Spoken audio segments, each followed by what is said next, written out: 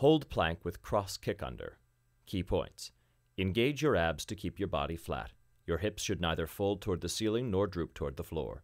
Try to keep your hips level as you cross your opposing arm and foot underneath to meet.